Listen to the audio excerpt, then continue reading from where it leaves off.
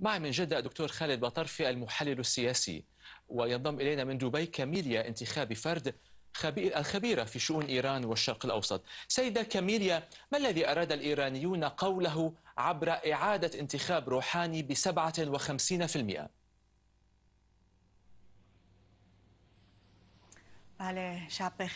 نعم مساء الخير وأشكركم لاستضافتي في برنامجكم أتصور أنه رغم أن محور الانتخابات كان يركز على الاقتصاد والبطالة ولكن الأصوات التي حصدها حسن روحاني عبرت عن رغبات النخبة الإيرانية والشباب الإيراني بالحصول على المزيد من الحريات الثقافية والمدنية وهنالك الكثير من الناس في إيران هم يخشون من العنف.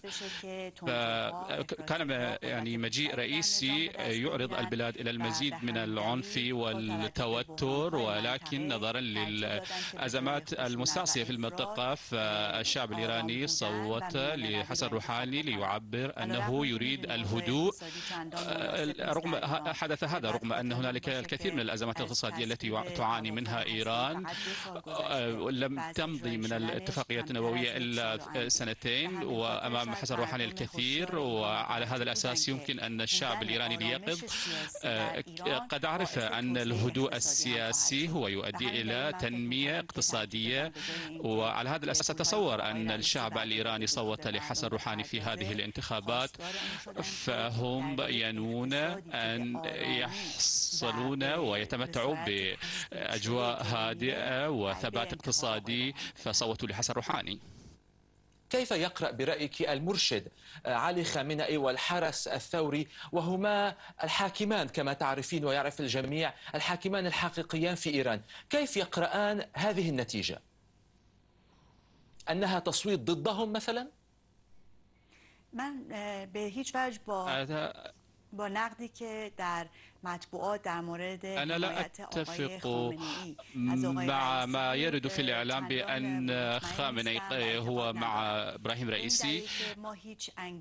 لأنه لم تظهر أي حوافز من مرشد الجمهورية علي خامنئي بشكل مباشر لم يظهر أي لم يظهر أي دعم مباشر لإبراهيم رئيسي ولكن في المقابل الحرس الثوري دخل بكل قواه لدعم إبراهيم رئيسي في الانتخابات.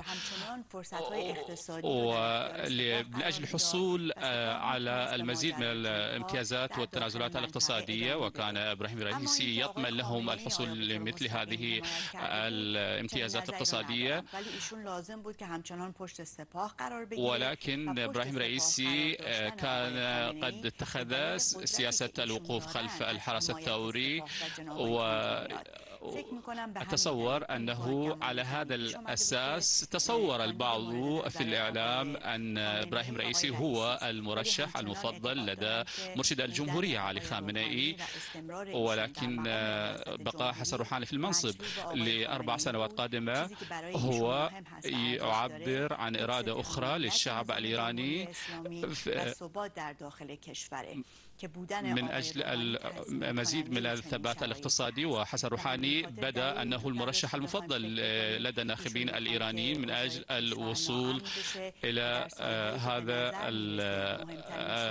إلى هذا الأمر. في موضوع خلافة علي خامنئي كان الكثير قد تنوه بأن إبراهيم رئيسي هو من يمثله ولكن هذا غير صحيح. نعم ولكن سيدة كاميليا أكرر السؤال بصيغة أخرى. هناك قراءات كثيرة تقول إن تصويت الشعب الإيراني للشعارات التي رفعها حسن روحاني المزيد من الحريات إطلاق سراح قادة الثورة الخضراء الانفتاح على الغرب. هذا في مجمل الدفاع عن الاتفاق النووي أيضا. هذا في مجمله وصف أو صور كأنه تصويت ضد المرشد خامنئي والحرس الثوري الإيراني. هل يفهم المرشد والحرس الثوري النتيجة هكذا؟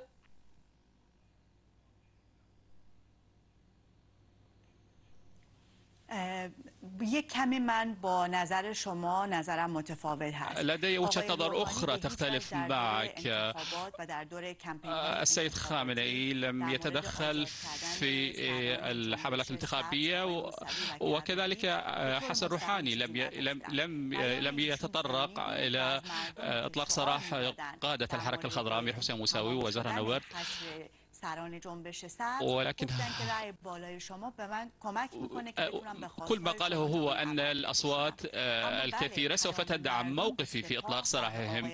ولكن الرسالة وصلت إلى خامنئي والحرس الثوري لأن ثلثي الشعب الإيراني هم ضد المغامرات التي تقوم بها المؤسسات التابعة للمرشد الجمهورية الإيرانية في المنطقة.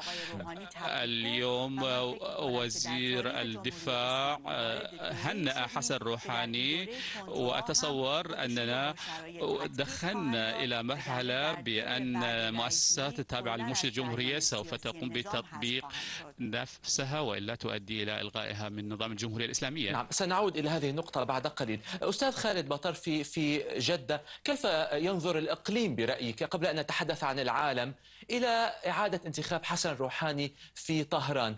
انتصار لما يوصف بتيار الاعتدال أم لا؟ لن يتغير شيء.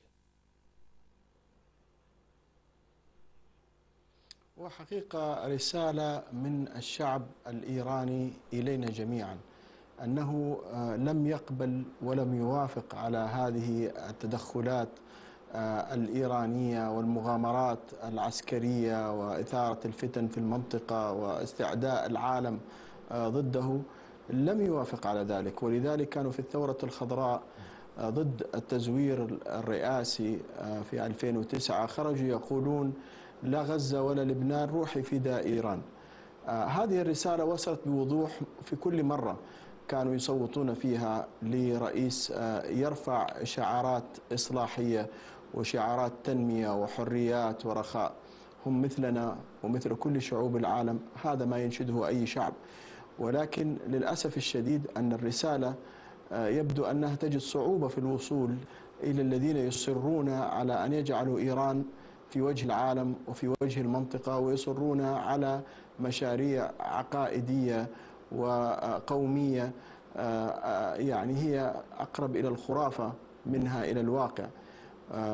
روحاني لم يستطع خلال الأربع سنوات الماضية أن يقف في وجه هذه المؤسسة الضخمة التي تختار من هم المرشحين أصلا. ثم تدعم التيار الذي يريدونه. ولو كان ترك للشعب الإيراني أن يختار بحرية كاملة وسمح للأقليات الأخرى المضطهدة في إيران وجدت الحرية وجدت هناك جدوى من هذه الانتخابات لوجدنا روحاني وصل إلى أرقام أعلى من ذلك بكثير.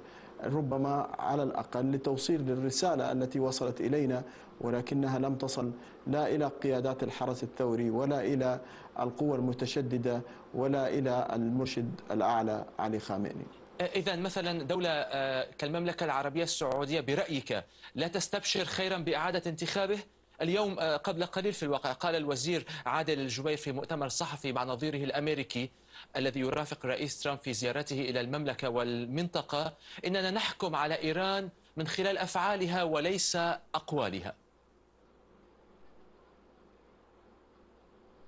صحيح لأن الأقوال التي لا تدعمها الأفعال هي إهانة.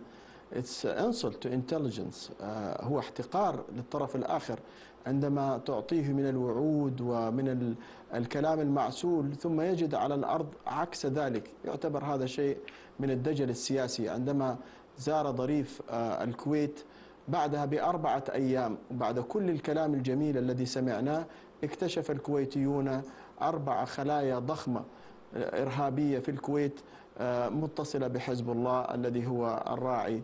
الذي الذي ترعاه إيران. طيب أستاذ دكتور خالد وظيفي لو سمحت لي. يعني انت أنت تريد أن تقول أن ان ان حسن روحاني لا يمتلك القدرة على اجتراح علاقات جديدة مع الإقليم أم لا يمتلك الرغبة؟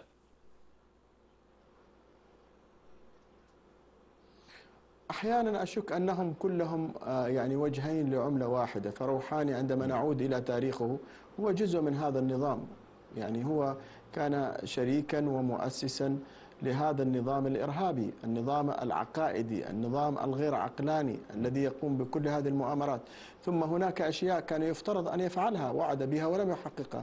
يعني حالات الإعدام قضايا الإعدام زادت في عهده التدخلات في شؤون الآخرين زادت في عهده الدعم للميليشيات المتطرفة زادت في عهده. المال الذي جاء نتيجة للاتفاقيات النووية استخدم للأسف الشديد في مزيد من المغامرات. ماذا رأينا من روحاني؟ نعم. يذكرني ببيريز. يعني كلما جاء هذا الوجه أو وضعت إسرائيل أرادت أن تقدم للعالم وجها معتدلا وضعت آه، رجلا من العمال يتكلم كلاما جميلا وفلسفيا لتقنع العالم. ولكن في عهد بيريز زادت المستوطنات أكثر بكثير من طيب هذه نقطة مهمة دكتور بطرفي دعني أنقلها إلى كاميليا في دبي. فعلا ما الذي سيتغير في السياسة الخارجية؟ كان هناك بعض الوعود بشأن هذه السياسة أطلقها الرئيس حسن روحاني في حملته الانتخابية. لكن في النهاية كما يقول الجميع أو كثيرون سيدة كاميليا الرجل ليس بوسعه فعل شيء هو منفذ لسياسات يرسمها المرشد ومؤسسات الحرس الثوري. لماذا إذا كل هذا الاستبشار العالمي بإعادة انتخاب روحاني؟ به این دلیل که فکر میکنم أنا أتصور أن, أن المحور الأساسي للشعارات التي طرحها حسن روحاني هي حل التسوية القضية النووية. كل ما بذله من جهد حسن روحاني خلال الأربع سنوات الماضية كان قد ركز على الملف النووي الإيراني والمفاوضات الطويلة التي خاضها. أنا أتصور أن هنالك لم يكن المزيد من الفرص ولم تكن المزيد من الوقت لحل الكثير من الأمور وبالتزامن مع ذلك حدثت هنالك الكثير من تدخلات الحرس الثوري في شؤون الدول المنطقة. فترشيح حسن روحاني لولاية أخرى أتصور هو لحل مثل هذه القضايا. أنا متفائلة جدا بأنه من خلال هذه الانتخابات سوف سوف يفعل هذه القضايا كما سمعنا عتابا منه ومن حكومته ضد المتورطين باقتحام السفارة السعودية وإحراقها في طهران. تحریم ها برداشته شود. أنا أتصور أنه بعد إلغاء المزيد من العقوبات وقطف ثمار الاتفاق النووي سوف يركز حسن روحاني لحل المزيد من القضايا الإقليمية مع الدول المجاورة. أما فيما يتعلق بحزب الله. أنا لا أتصور أن تخوض إيران هنالك مفاوضات بشأن العلاقة مع حزب الله لأن هذه العلاقة هي علاقة معقدة جدا ولكن فيما يتعلق بالاختبارات الصاروخية التي تجريها إيران سوف تقوم إيران بمفاوضات مع مع مع الدول المختلفة وأيضا هنالك بعض الدول مثل الكويت مثل آه، سلطنة عمان سوف تقوم بوساطات لإجراء حوار مع المملكة العربية السعودية. هم يبحثون عن ظروف آه، تسمح لهم بإجراء مثل هذا الحوار مع دول مجاورة. هذه نتيجة الانتخابات أدت إلى المزيد من التفاؤل في الولايات المتحدة الأمريكية حيث هذه حيث المصالح الأمريكية هي متشابهة على ذكر الولايات المتحدة استمعنا, استمعنا إلى وزير الخارجية ريكس تيلرسون يقول قبل قليل في الرياض إنه يأمل أن يعمل حسن روحاني على وقف تمويل الميليشيات الإرهابية في المنطقة التي تدعمها إيران ويأمل أن ينهي روحاني تجارب الصواريخ البالستية أو برنامج الصواريخ البالستية الإيرانية كثير من الأمل هل يستطيع روحاني أن يفعل كل ذلك؟ فکر میکنم رأی أنا أتصور أن النسبة العالية للأصوات التي تمتع بها حسن روحاني سوف تمنحه بعض القدرة ليقف بوجه الحرس الثوري لأن ثلثي الشعب الإيراني قد صوت لعدم العنف والتخلي عن العنف على هذا الأساس أنا أتصور أن الحرس الثوري سوف يتخذ مواقف جديدة ويعدل من مواقفه وهي هذه المرحلة مرحلة الانتخابات هي مؤشر إلى مواقف جديدة من قبل النظام الإيراني.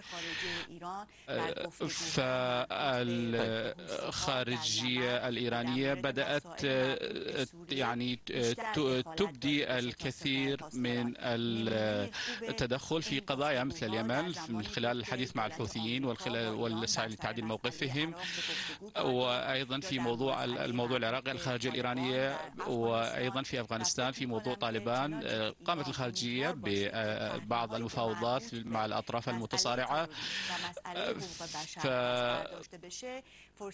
طيب سنرى سنرى ماذا سيفعل؟ دكتور خالد بطرفي أنتم في المملكة العربية السعودية ماذا تنتظرون عمليا من حسن روحاني أو إيران لكي ربما تنفتح قناة الحوار هذه التي تطالب بها إيران منذ زمن ليس قصيرا. هل ترون أن الرئيس حسن روحاني قد يقوم بمبادرة من هذا النوع؟ أم أن على المملكة كما يقترح البعض أن تقدم بمبادرة تتقدم بمبادرة لإجراء حوار مع هذه الجارة إيران؟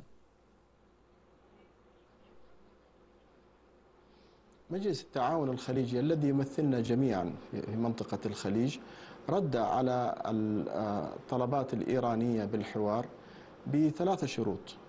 الشرط الأول أن لا تعتبر إيران نفسها المرجع لكل الشيعة في المنطقة بحيث أن ولاء الشيعي في السعودية أو في البحرين هو لإيران وليس للدولة التي هي فيها وأعتقد هذا مسألة منطقية.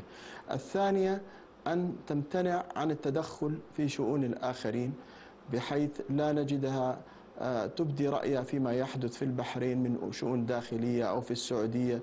إعدام إرهابي يثير الدنيا ويحرق السفارات تتخذ يعني ترتكب جرائم باسم التدخل في شؤون الآخرين وتصدير الثورة.